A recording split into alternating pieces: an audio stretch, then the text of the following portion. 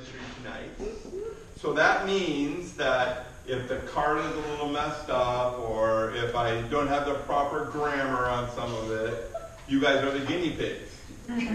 So if you don't like it, you'll get your money back. Oh, you don't pay for this. Now, anyway, let's go over the rules. I, everybody been, some people haven't been to our murder mysteries before, so let me go over the rules. First off, this is a fun event, okay? Uh, we've had people take seven, eight pages of notes and lose. So we've had other people that, that, that, don't take any notes, have a good time, drink a little bit, and win.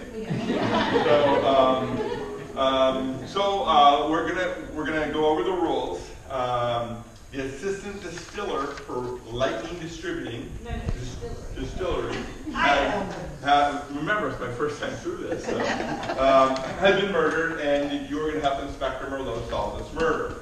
Each table is a team. Anybody want to switch?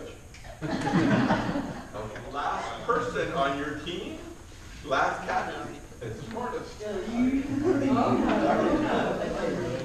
All right, so we're going to have four votes. Uh, first vote's only worth 10 points, and you will get very, very little information. In fact, you get the name. The winner will receive, the winning table will receive two bottles of wine of good sure. Oh, Corey, how old would this person be? 21. 50 and proud of. There you go.